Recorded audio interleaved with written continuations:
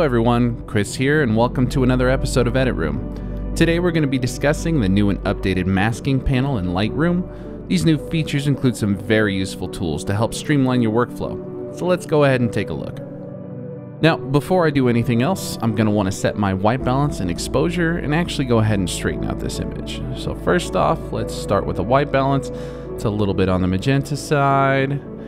Uh, it looks pretty good to me. I, will add a little bit of warmth. And then I'll bring up the exposure. Let's say right about there is looking pretty good. And then let me go ahead and straighten this out real quick. First, I'm going to apply some lens correction so we can get rid of those curved lines. And then straighten it out to match up with our horizontal lines. That looks perfect. Now, normally I'd be looking to bring up the exposure to match my subject's skin tones and not really worry too much about the surrounding imagery. Kind of like this. But let's say I wanted to go for a more balanced look and bring the surrounding imagery closer in exposure.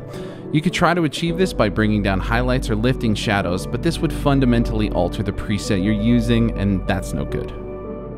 Now, I'd really prefer if my background was around, let's say here, right about there, regarding exposure, but as you can see, our subject is very underexposed. So let's go ahead and jump into the masking panel here and see what can be done. Give it a click. Now, as you can see, we have a few options, but we're going to be focusing on, on select subject for now. Let's go ahead and give it a click. So as you can see, this auto function has masked my subject nearly perfectly, which honestly probably would have taken me 10 minutes to do myself.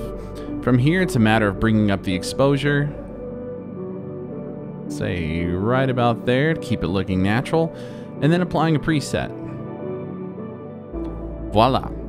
So the only other thing I want to do just real quick here is bring up my overall exposure just a tad.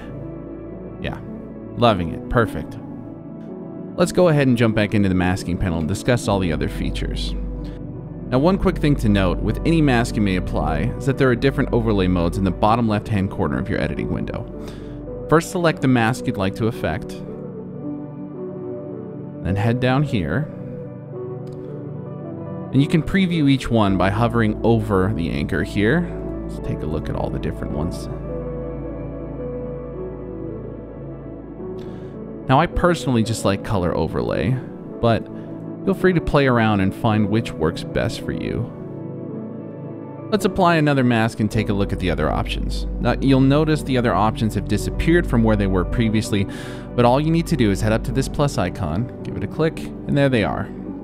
So first off, the select sky function, as it's described, will mask the sky in your image. Let's give it a click. It's actually very good at not selecting near field objects, which is really nice. This particular image doesn't really have much information in the sky, but can be utilized just the same as we use select subject, allowing you to make that localized adjustment affecting color, exposure, whatever you'd like. The next three masks you're most likely familiar with, but they're all now consolidated in the masking panel. First off, the brush mask, allowing you to freely paint anywhere in your image. This is great for helping pop specific details and overall giving you complete control of your masking. The linear gradient mask is one of my favorites. It allows you to softly transition whatever effect you apply from one point in the frame to another. I personally love using it to darken the lower part of the frame to bring more attention to my subject. The radial gradient mask is also a favorite. I love using this as a way to quickly highlight my subject and help it pop from the rest of the frame. Kind of like a customizable vignette, if you will. Next up is the color range mask. This allows you to select a specific range of hues and edit them independently. Just use the eyedropper to select whichever color and frame you want. From there you can refine the range with this slider, and then make your desired adjustments. Lastly is the luminance range mask. As described, this will select a specific range of luminance, whether shadows, midtones, or highlights.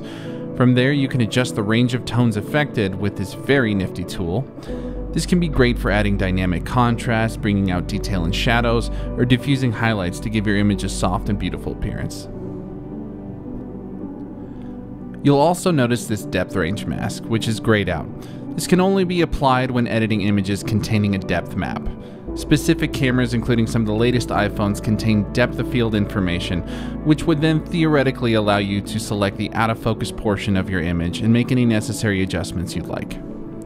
Now that we've gone through all the masking panel features, why don't we go ahead and take a look at the before and after.